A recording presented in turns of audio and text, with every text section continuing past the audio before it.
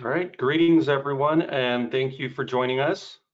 Uh, today we're excited to showcase a brand new tool within PlantPredict called Voltage Pro, designed for maximizing string lengths on utility scale PV power plants. Today's webinar will run approximately 50 minutes with a live Q&A session that may run a few minutes past the hour if you decide to stick around. Feel free to submit your questions anytime during the webinar and we'll try to address as many as we can. A recording of the webinar will be shared in the next 48 hours along with links to the special promos. So for today's agenda, we'll begin with some quick introductions and then we'll jump into the in, into the product demo and a discussion of safety factors and delta T, followed by a business case describing huge cost savings potential when using Voltage Pro. Finally, stick around for a couple special offers, including a free trial of PlantPredict Pro and special pricing on SolarAnywhere datasets. With that, I'll hand it over to Terabase Energy's Director of Project Engineering, Jason Spokes. Um, hi, everyone. Uh, thanks for joining today. Um, I'm really excited to be presenting on Voltage Pro. It's been a really exciting journey to see it grow from an idea to an Excel tool to now a cloud-based application coupled with PlantPredict. Um, so I'm the Senior Director of Project Engineering at Terabase Energy. Um, my background is electrical engineering. I have been in the uh, electric power industry for over 20 years and in the large-scale solar industry for over 12 years. And with that, I will hand it over to Marc to introduce himself. Thank you, Jason, and happy to be here as well. I'm happy to have this opportunity to speak about um, temperature and about Voltage Pro. Um, I'm the lead researcher at Clean Power Research. Uh, like Jason, I've also been around for a while in this industry, specifically in renewables. I've been around for about 20 years, EPC, development, academic research, corporate research, and I'm happy to talk about uh, all things temperature today. All right, thanks, Marc. And uh, I'm David Spieldenner. I lead the uh, PlantPredict product team and uh, really excited about PlantPredict Pro and also what Voltage Pro brings to the table. Uh, this is a, a, really great addition to the PlantPredict suite of, of tools. Uh, I've been in the industry for around 18 years, uh, leading the PlantPredict product for the last five. So um, just real excited to have so many wonderful part, uh, participants as uh, this is a very well attended webinar. We're grateful for that. And uh, just uh, excited to show you what we got. So with that, I'm going to hand it over to our uh, Vice President of Development Technologies and uh, my boss, Tang Li, to give a little bit of an intro on plant or on Terabase Energy. Thanks, David.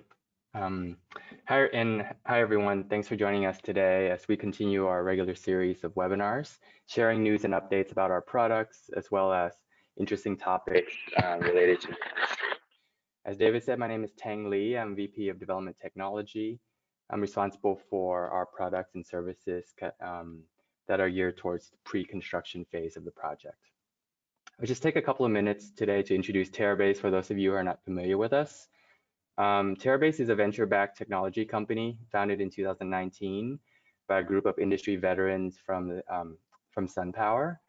Our mission is to accelerate the deployment of renewable energy, and we do that by offering digital products uh, and automation products. Our team has deep industry experience. We've worked on large-scale projects, um, primarily uh, solar um, power plants globally, and and and that experience is the foundation of um, of our products and and services. Um, if you'd like to learn more about any of these uh, products that are, are shown on the right here, please feel free to reach out to me or any of our, my colleagues. But without further ado, I'll hand it off to Marc to introduce um, CPR.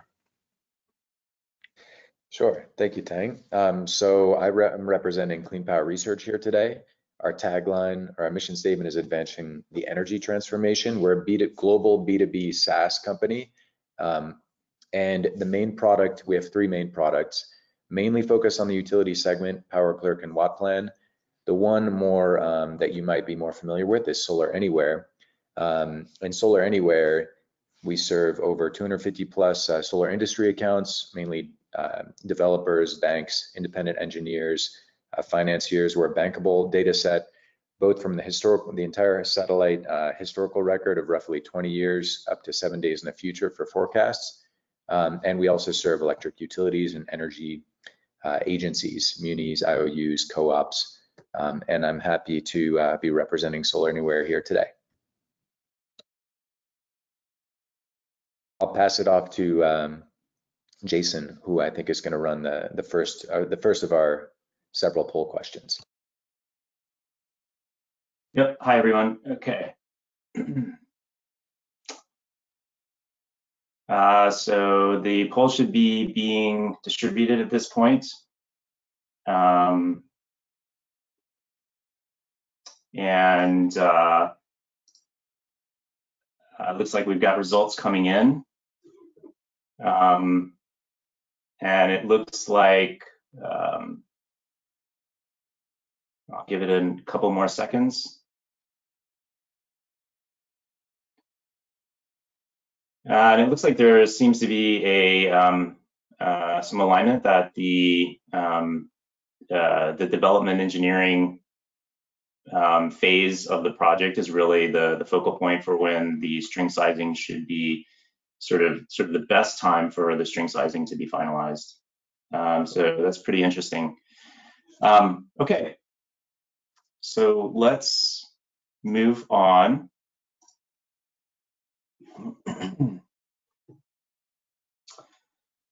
um, so we're going to be going into a demo of Voltage Pro. Uh, but before we do, I'd like to talk briefly about the relationship between Voltage Pro and PlantPredict.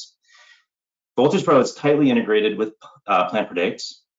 When you create a project in Voltage Pro, a project of the same name is created in PlantPredict and is assigned as a string size type project.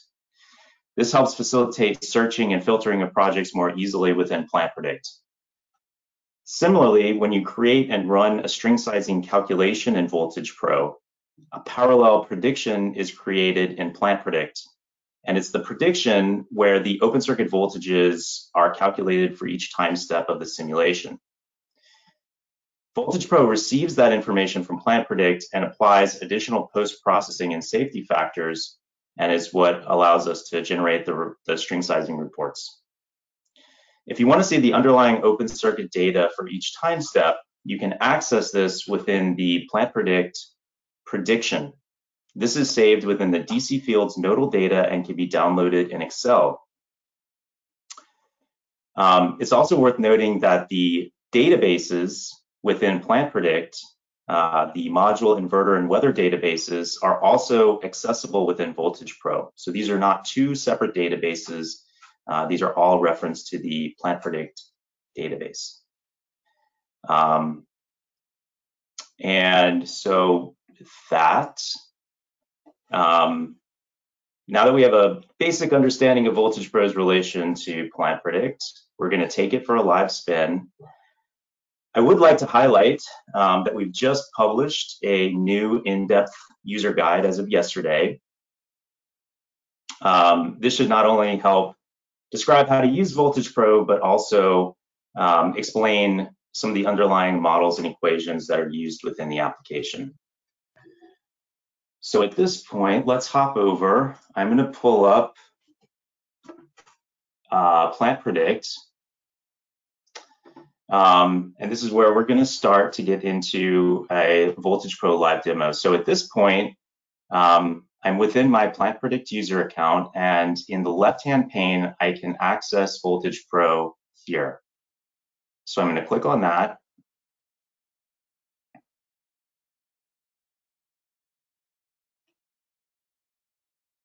And this pulls up the main Voltage Pro page. And what I see is a listing of all of the projects that I have created in Voltage Pro. And within each project, I can create one or more calculations. Um, so for this live demo, let's create a new project. And I'm going to create a project in Ohio, and I'm going to call this webinar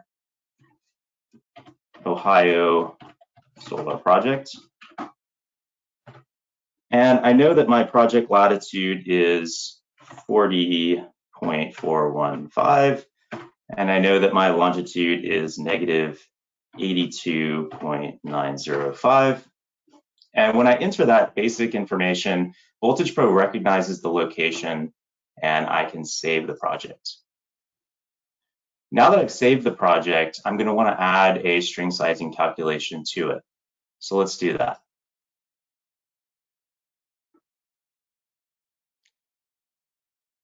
Once I add the calculation, it immediately brings me to the calculation page, and my calculation is automatically named SCalc01. I can rename that if I want.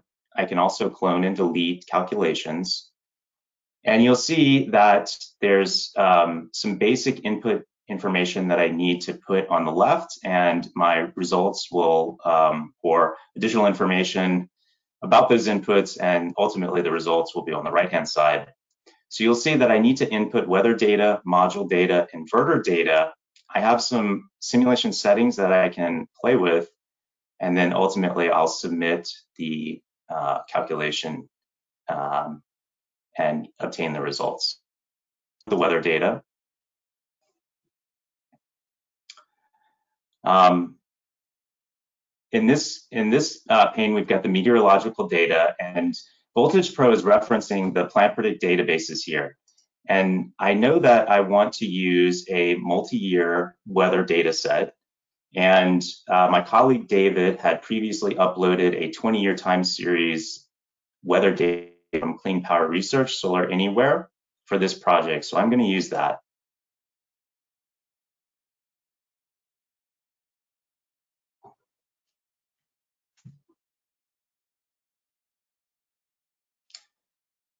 So it's pulling in the, um, the temperature data here.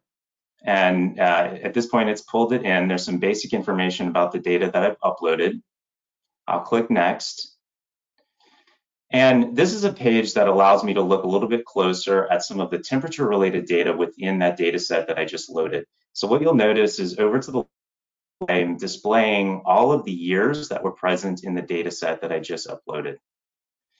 I also am showing the minimum temperature for each of those years.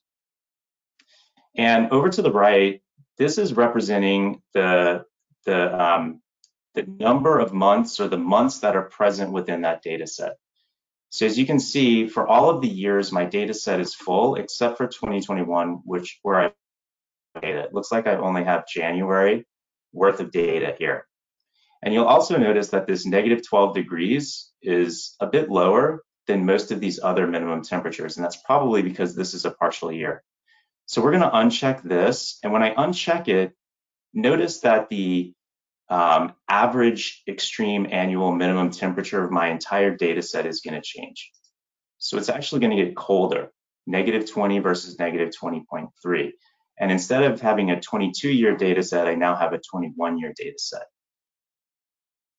I'm going to save this as it is because I, I want to have a more conservative cold weather temperature. And we'll talk more about um, how this uh, extreme annual mean minimum temperature is used uh, within some of the safety factors. So let's click next. Last but not least, I'm pulling in ground measurement data. In this case, ASHRAE uh, data from my nearest ASHRAE weather station to my project site. And we can see that this ASHRAE weather station is 26 kilometers from my project site. This is also used in some of the calculations and some of the derivations of safety factors. So let's click save. And let's move on to our PV module. Uh, for this project, I know that I want to use a LONGi solar module, and I think it's the very last one. It's the LR572HPH540M. Uh, that's the one that I'm going to use. I'll click save. And then for my inverter, um, I'm actually going to filter by my inverters. I'll pick a SunGrow SG4400UD, and I'll click Save. And now it's immediately brought me um, to the Results tab. It skipped over the settings because I don't need to enter the settings. But before, um, before we run it, let's take a look at the settings just to see what I can manipulate. The first is the cell thermal model. Um, I have an option of the heat balance model or the Sandia. Heat balance is the standard model or the default within PlantPredict and is also the standard model of PVsyst. I also can use the Sandia model if I choose. Cell temperature is critical to the um, open circuit voltage calculations. I have the conductive and convective coefficients for both. We talked about this uh, at length in a prior webinar. I can also modify the maximum system voltage. By default, we pull in the maximum system voltage from the inverter file, uh, but I can override this if, for example, I have components which have a lower uh, maximum system voltage than the inverter. Last but not least, I can modify the ASHRAE extreme annual mean minimum temperature. This is primarily used in the linear calculation method. I'm going to leave it as default from the nearest ASHRAE station and I'll click save. And now I'm ready to run the analysis. You'll notice that for the linear method or the most basic calculation method, which just uses data sheet and ASHRAE information, um, the calculation has already been has already been completed, and that's 26 modules per string. To get the advanced method calculation, I'm, I'm going to need to run it, and that's going to go through PlantPredict. So let's let's go ahead and run it.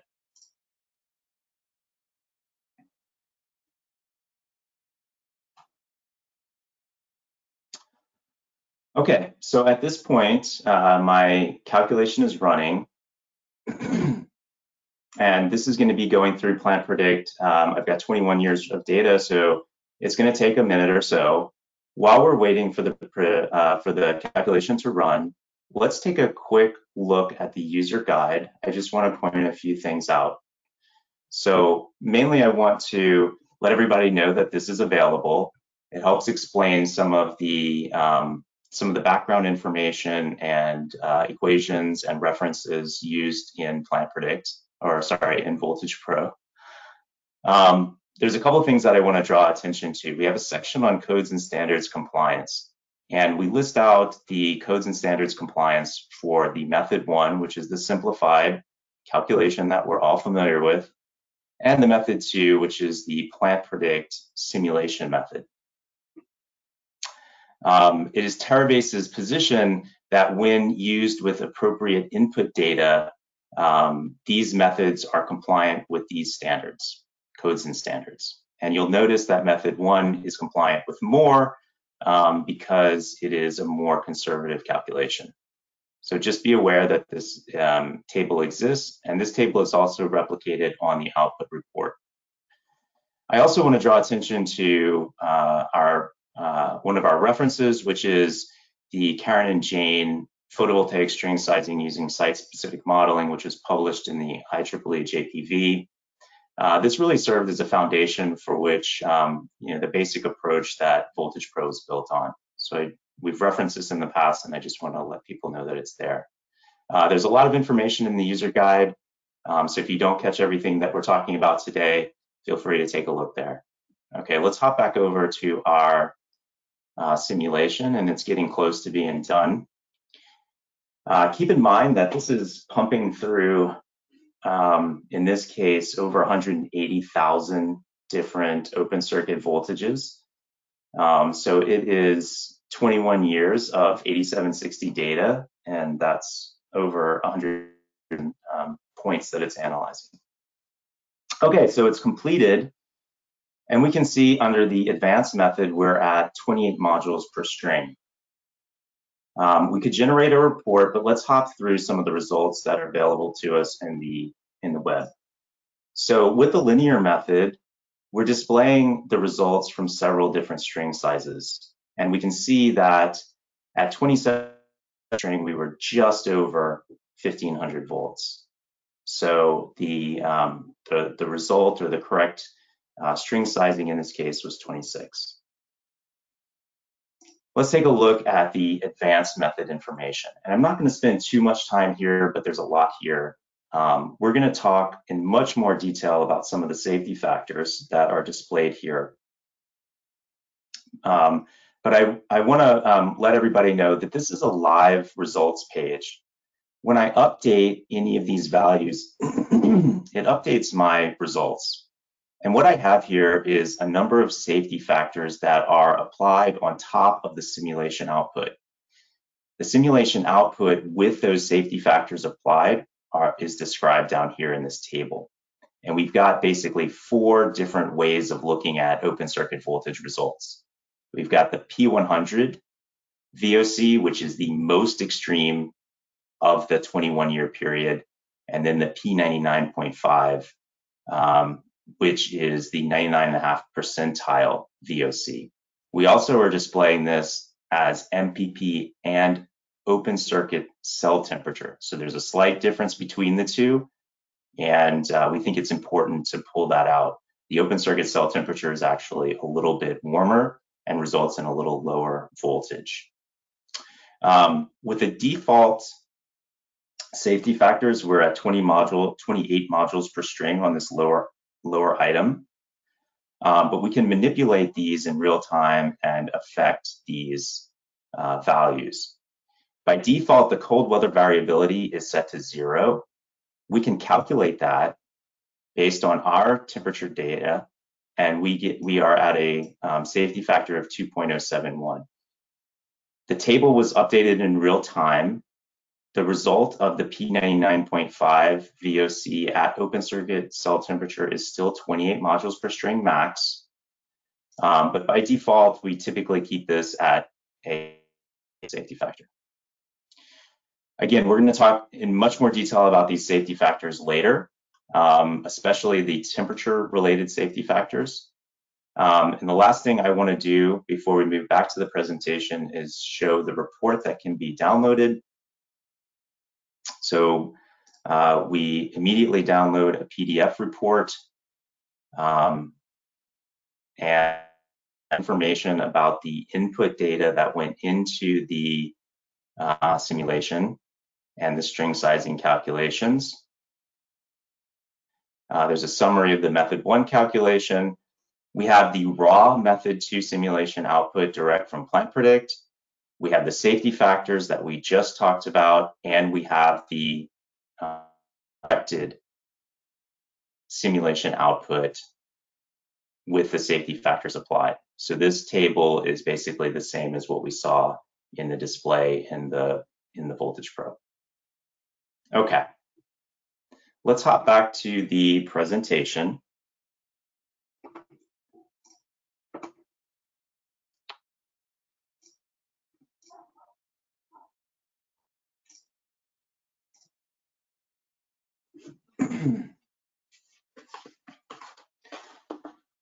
okay, um, so now let's focus on probably the most confusing part of Voltage Pro, and that is the air temperature data safety factor. Uh, that was one of the safety factors that we just saw in the demo. The objective of this safety factor is to correct for temperature bias in our satellite data. The safety factor itself is easy to compute using the equation highlighted here. It's simply the temperature coefficient of VOC, which we can get from the datasheet or PAN file, times the air temperature delta T. The computation of delta T, however, is a little complex, so let's spend a few minutes on it.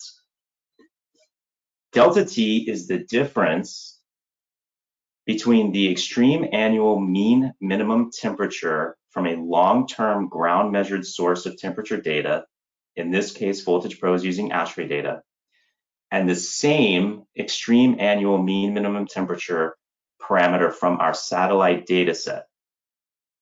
So we're treating the long-term ground measured source as a source of truth.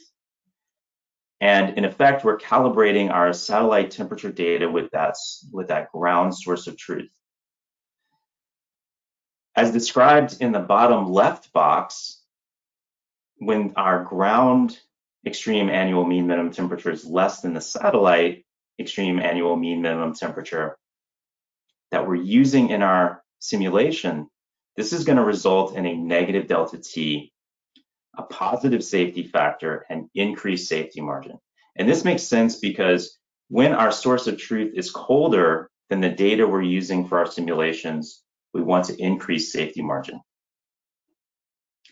Conversely, on the box on the right, when ground extreme annual mean minimum temperature is greater than our satellite data extreme annual mean minimum temperature, this results in a positive delta T a negative safety factor and provides justification to help um, reduce some of the safety margin.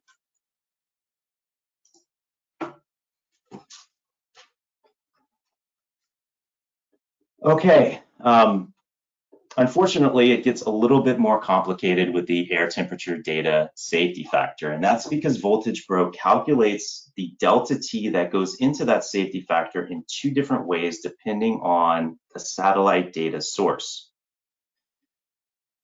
So within Voltage Pro, there is a SolarAnywhere method of calculating delta T, and there's a non-SolarAnywhere method.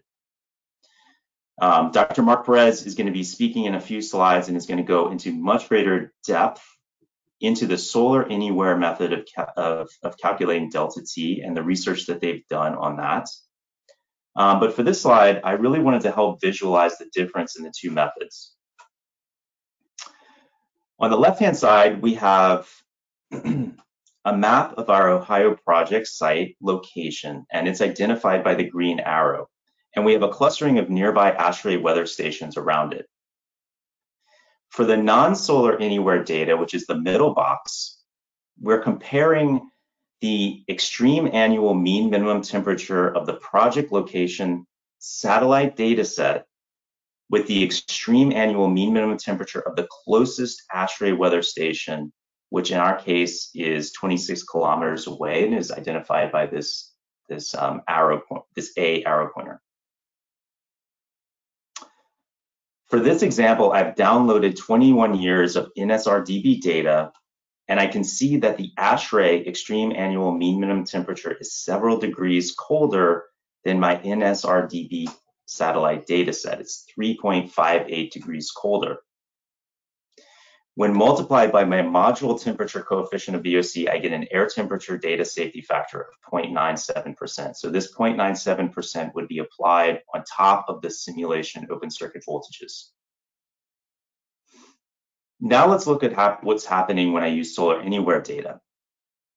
In this case, my project data set isn't used at all, and that's because my project data set is at a different location than my ground reference points.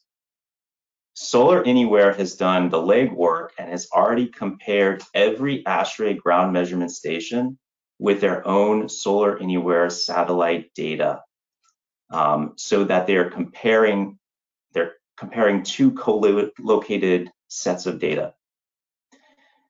They then interpolate between those points to derive a delta T for the specific project latitude and longitude of my project.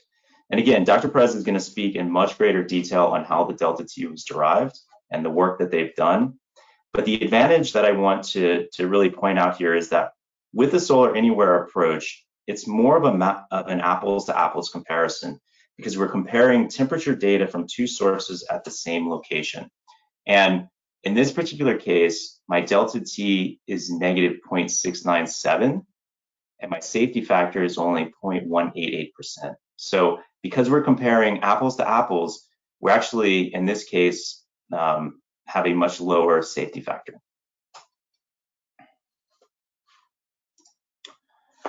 All right, and then the last slide that I'm going to speak to is to talk about the cold weather variability safety factor. Um, this one's a little bit easier to wrap our heads around. Um, and uh, as I mentioned before, this is treated as an optional safety factor in Voltage Pro and only applied to the P99.5 results. By default, um, it's set to 0%, but it can be automatically computed and included in the safety margin on demand. The objective of this safety factor is to apply higher levels of safety margin where extreme cold weather temperatures have higher variability from year to year. The basic equation for the safety factor is highlighted in yellow and should look familiar.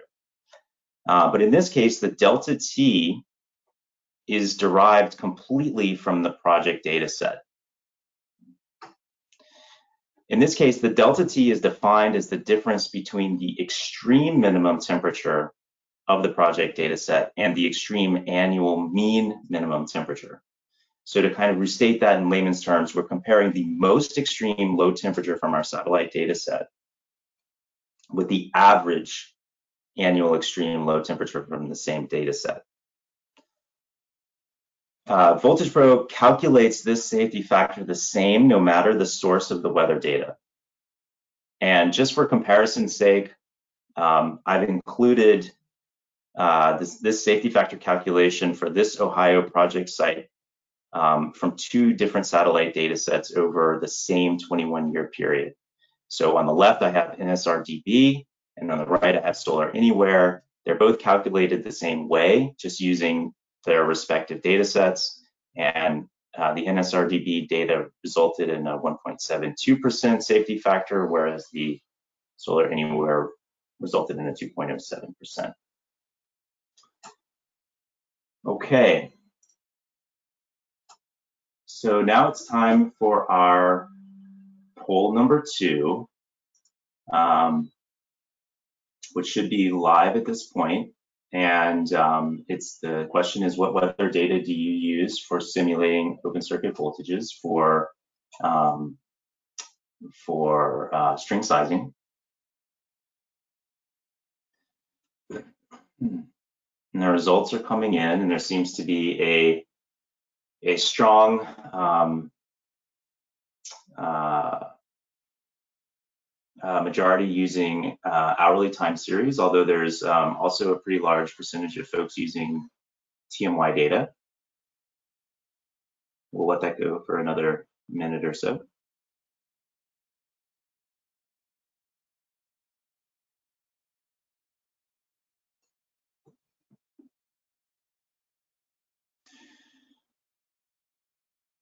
All right.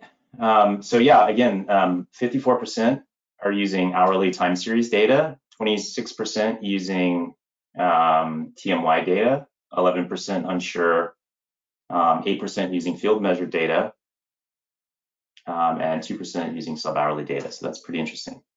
All right, let's, I'm gonna hand it over at this point to Marc, who's gonna take it from here, talking about uh, some of the research that CPR has done into the uh, air, air temperature data safety factor. Marc?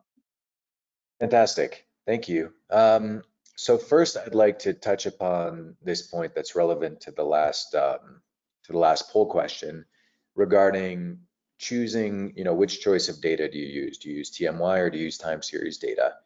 Um, so this, I'm going to underline the importance of using time series data for this purpose typical meteorological year data is just that it's typical. It's it's a um, it's an averaging sort of exercise where you select the average january from the historical record and the average february and you piece that together into a kind of pseudo year that approximates the average but still has um, the variability characteristics that you would see in any given individual month. So it's a useful exercise but it's essentially you're trying to find the central tendency and with the extreme value statistics that we're looking for here, the extreme annual mean minimum temperature, that's at the tail end of the distribution. So you're not going to capture that in, in this typical uh, meteorological year. And just to evidence this point, I um, I pulled for a single um, or for all the locations, all the ASHRAE locations that were previously mentioned. There's roughly 9,000 throughout the world.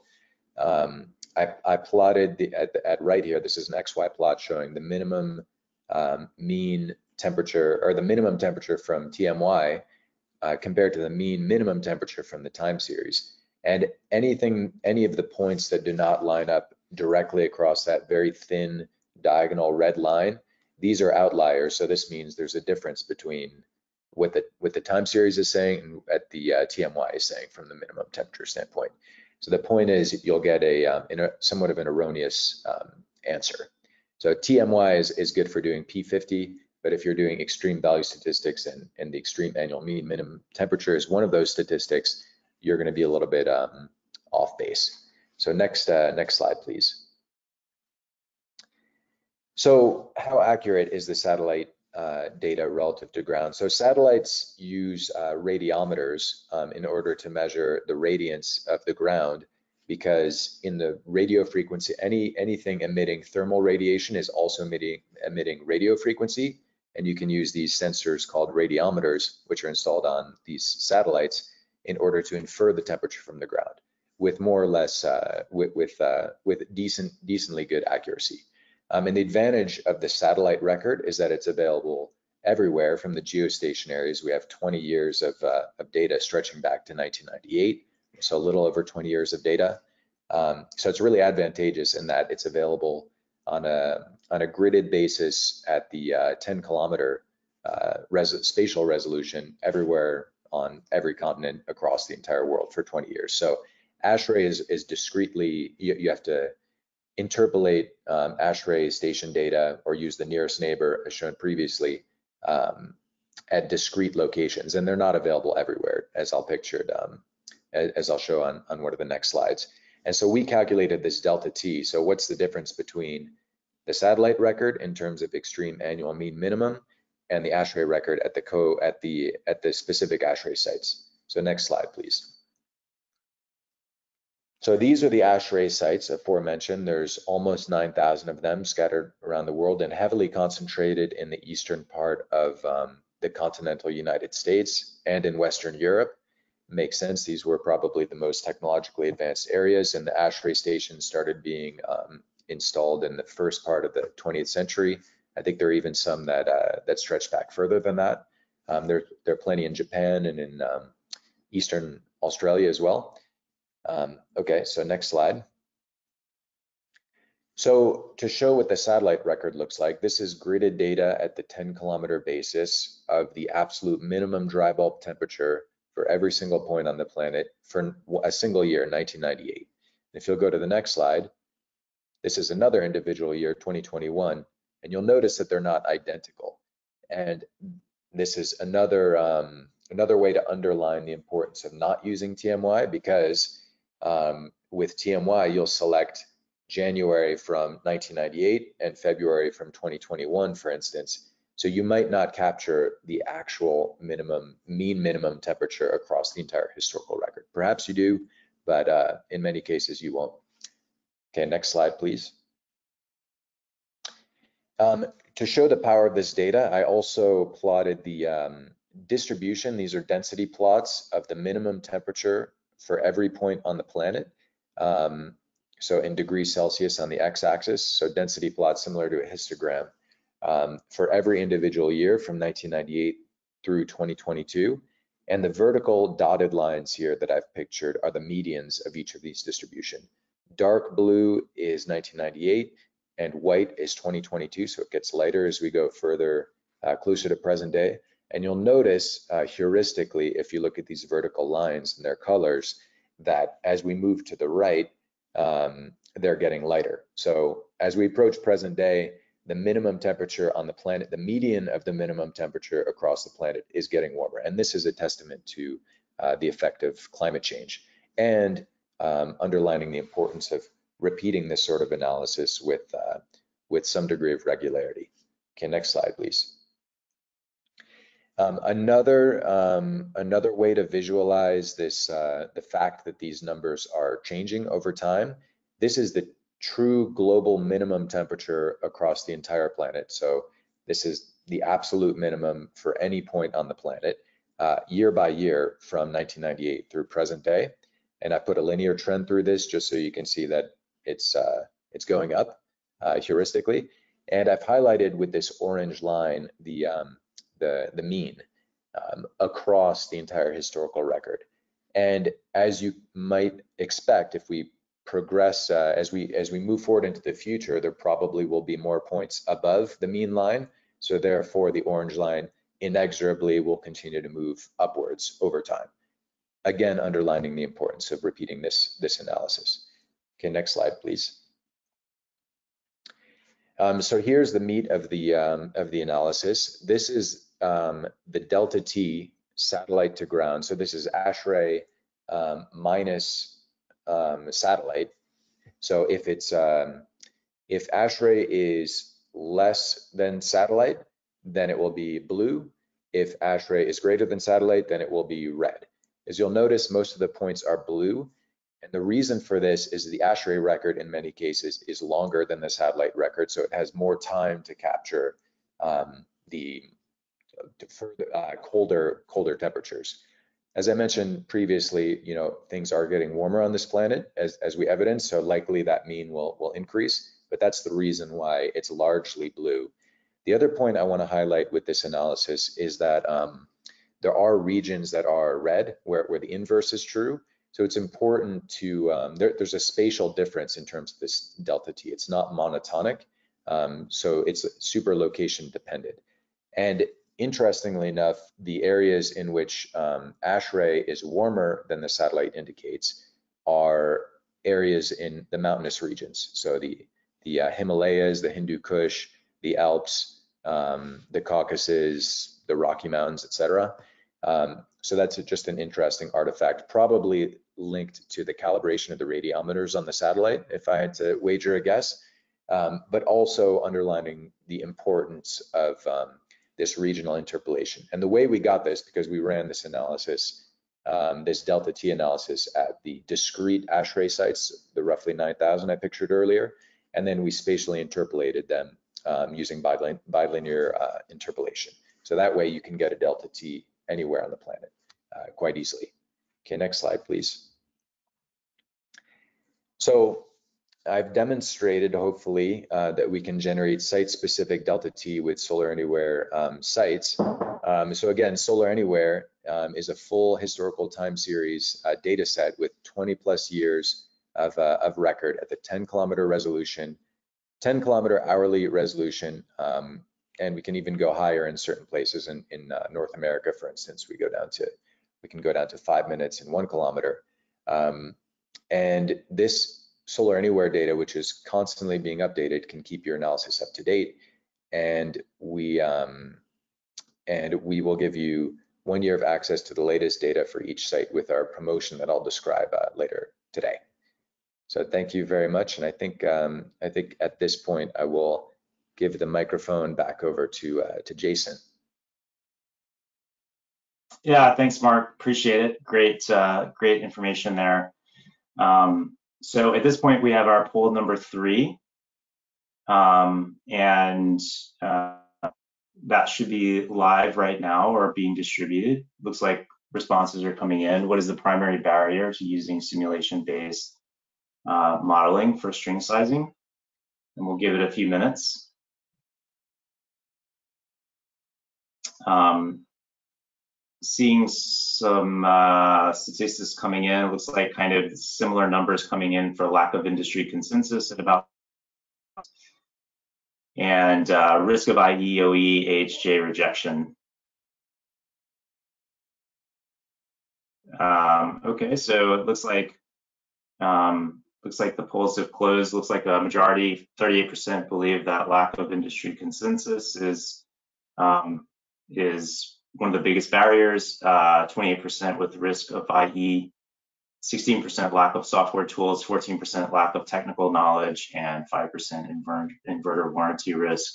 So one of the things that we're hoping to do with Voltage Pro is really start to build some in industry consensus. So it's um, it's good to see that uh, we're attacking that particular problem. All right, um, at this point, I am gonna hand it over to David, who's going to talk a little bit about a business case study for this project in Ohio using a longer string length. Um, David? Thank you, Jason. So now that we've seen how to use Voltage Pro to understand the limits of how many modules we can safely and effectively string together in series, the big question is, what difference does an extra module or two make? We're using the dev platform that's also included in the PlantPredict Pro subscription. I ran a couple of simulations on a potential project site in central Ohio. For this project, I'm targeting a 100 megawatt solar power plant. And I want to model this plant using both 26 module strings and 28 module strings. The tracker that I plan to use will be a three string tracker, so the tracker length will be 78 modules and 84 modules respectively. As you can see by the table on the slide, we were able to reduce the number of strings by 7.2% using the 28 module string, which then flowed through to a similar reduction in the number of combiners and harnesses. The DC installation labor savings are worth a tenth to three tenths of a cent on a cost per watt basis. Furthermore, my DC cable length was reduced by over 100,000 meters. So if you figure two to three dollars a meter, that could save us two to three hundred thousand dollars in cabling material alone. For this analysis, we are figuring that the inverter rating stays the same. However, this is another area that could result in some additional benefit. You may be able to uprate your inverter and go with a tighter voltage window. We recommend that you check with your inverter manufacturer after running a Voltage Pro analysis to see what they think. As mentioned earlier, you get 7.6% more modules per tracker row, which results in a reduction of trackers by around 7%. This means 7% fewer tracker motors, 7% fewer controllers, and 7% fewer drive foundations. All of these reductions saving us money. Overall, I think it's safe to say that you could save around six to eight tenths of a cent on your EPC costs when you factor in all the electrical, mechanical, and labor cost savings. And the best part is, as long as you are able to maintain the same GCR on your site, you won't notice any meaningful impact to your energy yield which means these cost savings will flow right to your LCOE and will have a net positive impact on your IRR. In summary, you can save between six to eight hundred thousand dollars on a 100 megawatt power plant by increasing your module strings by two modules. So let's move on to our next slide. As we look at our PlantPredict pricing table, I want to point out that Voltage Pro is only available within our PlantPredict Pro and Enterprise pricing tiers. In the case of the Pro package, in addition to Voltage Pro, you get three user licenses, full access to all core PlantPredict features, plus the dev platform. All of this for the very reasonable annual subscription price of $6,000. We also offer additional users for $2,000 per user per year. So think about it. You can save $600,000 on a single project with a $6,000 subscription. What a deal. Now, if you're a larger organization, you can take advantage of our enterprise package, which gets you all the same benefits as the Pro, but you get 10 users instead of three, and you also get access to the PlantPredict API and SDK, which stands for Software Development Kit, uh, which are very powerful, uh, a very powerful tool, uh, can create a tremendous amount of value. You also get enro enrolled into our concierge support plan. All right, move on to the next slide. As part of this webinar, we are offering you a free 30-day trial of PlantPredict Pro uh, simply by using a special promotion code VOLTAGE, V-O-L-T-A-G-E. You simply need to sign up for a free PlantPredict account at www.plantpredict.com and then go to the subscription page. Click on the promo code button in the upper right-hand corner of the screen, enter your promo code, and then celebrate with some confetti. I will now hand it over to Marc to discuss another special offer that is part of this webinar. Sure, thank you. Um, so I'd like to introduce um, a rare thing for SolarAnywhere. I think this may be one of the first times we've all offered such a promo, but currently in the context of this uh, collaboration with Terabase, we're offering uh, limited time uh, up to 60% off um, promo code for SolarAnywhere sites uh, licenses uh, so we're offering the, uh, the sites licenses at our minimum price, which is I think the minimum volumetric price that we offer at around $1,200 per site. And this expires on March 31st, 2023. If you want to learn more about it, you can contact Clean Power Research at the link below and use the promo code um, when you when you check out. And don't forget to read the fine print. You can also celebrate with confetti um, as you do with your Terabase deal.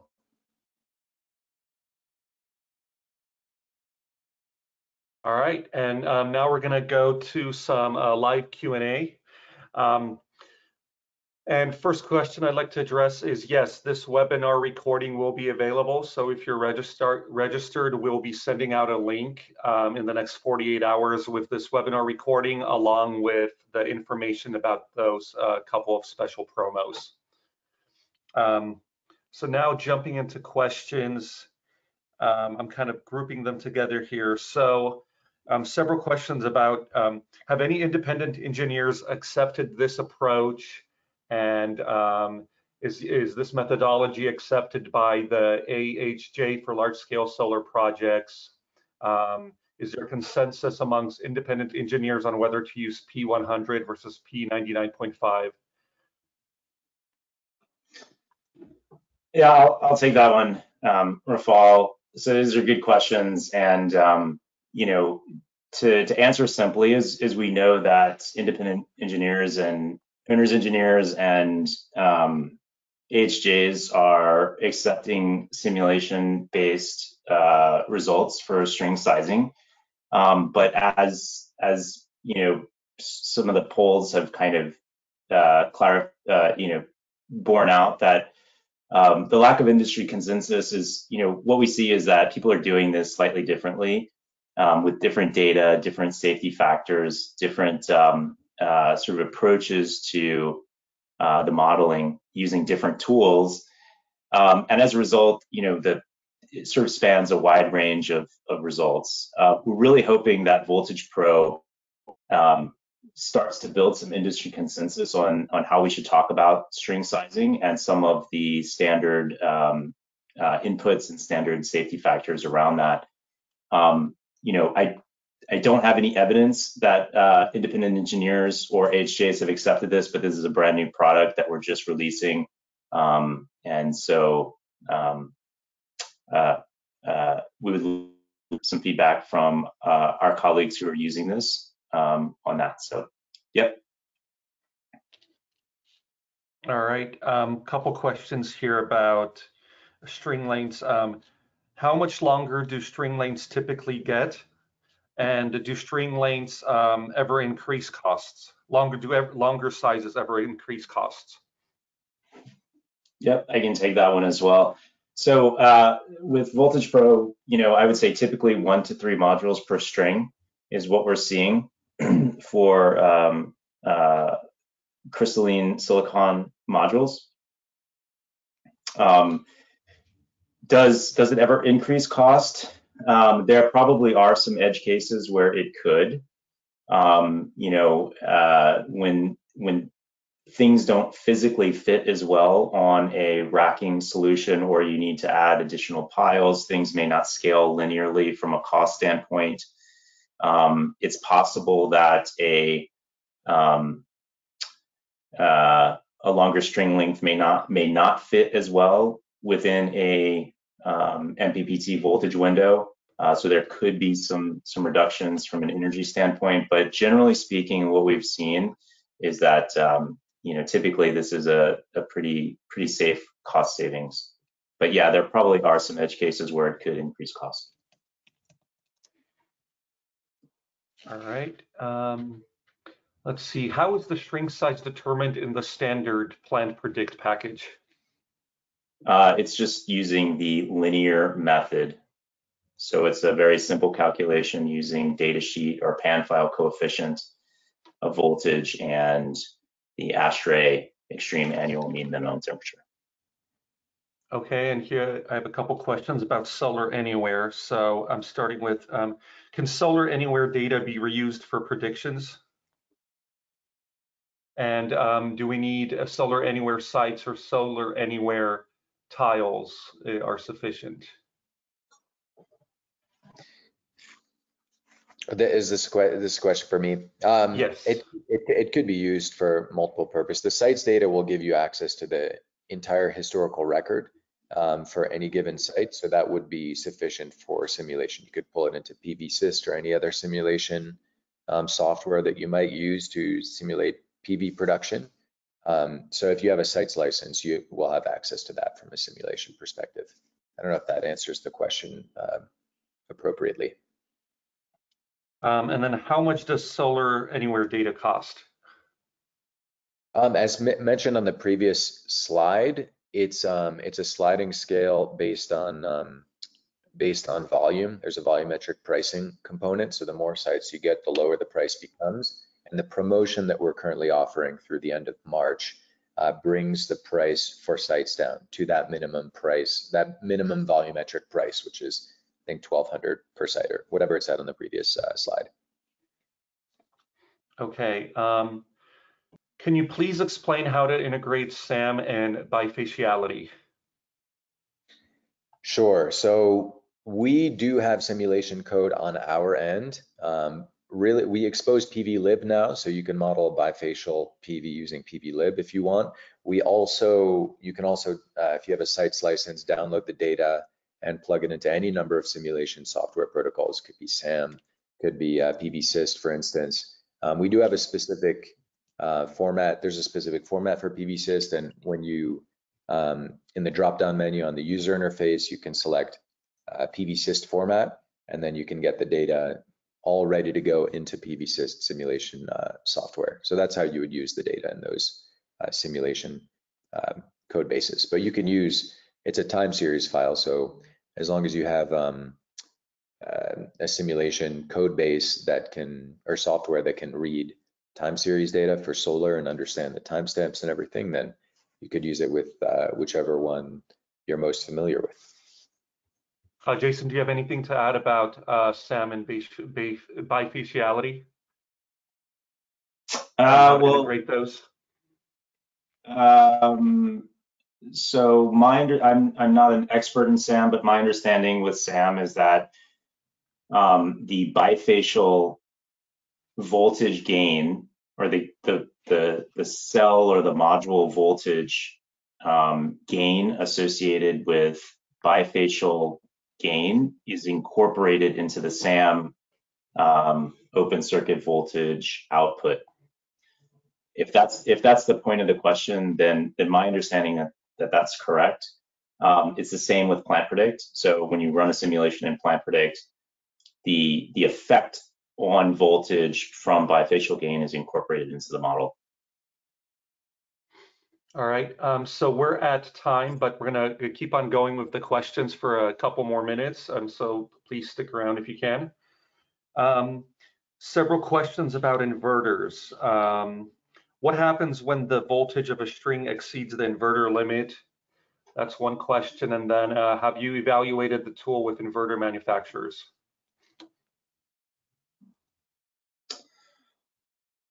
Um, so we so uh, I don't want to speak for any specific inverter, but I would say generally speaking, inverter manufacturers uh, will include some uh, safety margin in voltage for um, for maximum system voltage.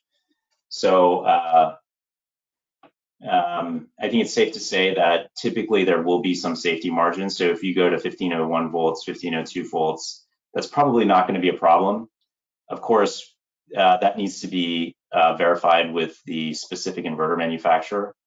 Um, uh, I think it's important to remember that in these, um, when we're looking statistically at P100 and P99.5 open circuit voltages, um, this is assuming that the plant is sitting at an open circuit condition for its entire life. In reality, most of the time, it is in an operating condition operating closer to maximum power point. So it is not seeing anywhere close to those open circuit voltages. Um, so there's a level of conservatism already built into this this modeling, if you will, and the results, if you will. Um, so I'll I'll leave it at that. Um, happy to happy to um, take that one offline and talk more about you know inverter specific um, uh, uh, inverter manufacturer specific information. All right, another question here. What happens if you have access to other ground uh, stations data? How can those measurements be integrated in the analysis?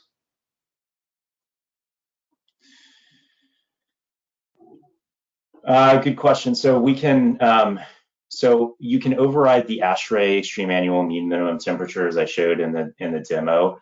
But the derivation of the delta T today for SolarAnywhere data is done um, through the research that SolarAnywhere has done comparing themselves to ASHRAE data. Um, and you know, one of the challenges of using other ground reference data, you know, is is that ground reference data exactly co-located with um, the project site? Because if it's not, if if they're some distance apart, then you're not really comparing apples to apples. That's really the value that SolarAnywhere has brought into this sort of analysis, and we want to expand that to also include other data providers and other uh, ground temperature sources. Um, but but for today, the the CPR specific research is is only um, used in conjunction with that ASHRAE data.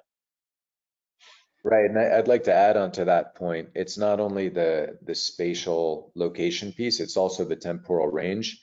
ASHRAE has the advantage of these are stations that have been installed decades ago. They have a very long historical record, so they're able to capture those extreme value statistics, like the extreme annual mean minimum temperature, pretty effectively. If you have a shorter time span, it may be that you don't get close to the extreme annual mean minimum temperature. It's sort of the same um, differences you'd get when you use TMY versus a long time series sort of data. So if you're talking about a meteorological station you install pre-construction to assess the local meteorological conditions, you may not get close to the extreme annual mean minimum temperature, and then you would be off if you were to use that sort of data.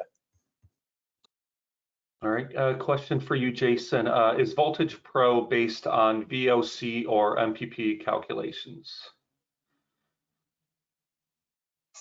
Well, all, all of the all the results that we present are VOC, so they're the open circuit voltage. Um, but we calculate that open circuit voltage both at the MPP cell temperature and the open circuit cell temperature. And let me let me kind of um, provide some more information on this. In the um, PlantPredict module model, for each time step, PlantPredict is determining that IV curve for that time step.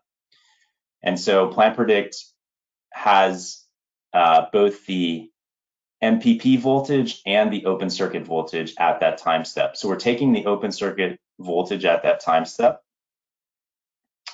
um, and we're calculating it at both the MPP cell temperature and the open circuit cell temperature. Why is that important? Um, if I have a um, string that's operating at MPP, and then it instantly is open circuited, it will take some time for the cells to warm up a little bit to that open circuit cell temperature. And so we want to we want to provide that MPP open circuit voltage, if that makes sense, the open MPP temperature open circuit voltage. I know that's uh, kind of a brain teaser, um, as well as the um, the open circuit cell temperature open circuit voltage, um, because that's more of a steady state condition if the string is open circuited and left open circuited for some period of time. Um, so we're presenting both in Voltage Pro. Um, yeah, hopefully that answers the question. All right, um, we'll take a couple more questions. Uh, Jason, have results been compared with PV Tools uh, string length calculator put out by DOE and Lawrence Berkeley National Lab?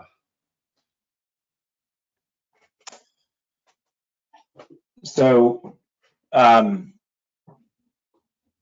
we have heavily, heavily leveraged the um, approach taken by the Lawrence Berkeley Lab string calculator. Um, that particular model is using um, is is based on pulling in NSRDB data and running um, the open circuit voltage calculations using the Sandia um, uh, open circuit voltage equation. So we're using the, the primary difference is that we're using PlantPredict for that module model as opposed to the Sandia equations. And uh, we presented in a previous webinar why we, we think that that's not only a valid approach, but it actually brings in some additional accuracy um, that isn't present within the Sandia um, model. One of the main being that you can use a module manufacturer's pan file, which you cannot use in the Sandia model. Um, so we've we've sort of looked at that and we came to uh, the the sort of consensus that we're we're better off using PlantPredict. Um, but yeah the, the the general approach and the general um, the, the foundation of, of what we did with voltage pro is actually based on that lawrence berkeley lab um, uh, approach. And and and this is the what I pointed out in the um, user guide is we, we referenced that particular uh, IEEE paper that was put out by by that team. Um, and as Jason mentioned, we did cover um, a lot of the research that went into Voltage Pro in an earlier webinar. Um, that is on our uh, on the Terabase YouTube channel, and we'll include it in the follow-up email to this webinar. Um, so Jason, um, this might be the final question here. Um, some clarification about your previous answer. can you please uh, can you please clarify whether the final string length is determined based on um, open circuit or MPP conditions? Um, yeah, good question. So the the final string length in the Voltage Pro app results page is based on the open circuit cell temperature. The report that we uh, generate, um, we're careful not to say that this is the answer or that is the answer. We're providing you with the information um, that an engineer can make that decision. We're providing you with all of the information, but not necessarily saying that the magic answer is 28 or 27. Um, in, in our internal practice at Terabase, we're using the P99.5 open circuit voltage at open circuit cell temperature. Uh, but we're a little bit careful not to um, not to take a extremely strong position on that. We um, we provide you with all of the results in the report for for both of the cell temperatures, if that makes sense. all right, so um, we're going to end it there. Um, thanks for joining us today. Once again, we'll be sending out a link uh, to the webinar recording in the next 48 hours. Um, there's also going to be a follow-up um, survey after this webinar. So if you have any additional questions, if there's any additional topics you would like us to cover in a future webinar, uh, please let us know um, in the comments field. Once again, thanks for joining us and have a good day.